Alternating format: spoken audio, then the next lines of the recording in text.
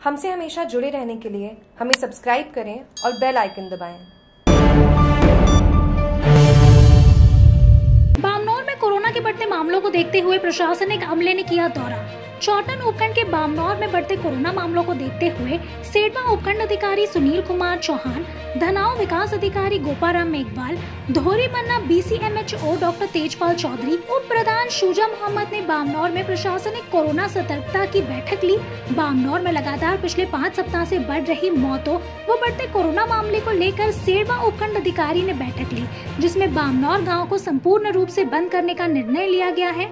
चिकित्सा सेवा को छोड़कर समस्त प्रतिष्ठान पर पूर्ण पाबंदी लगाने के साथ ही कोरोना गाइडलाइन की पालना करवाने के निर्देश दिए।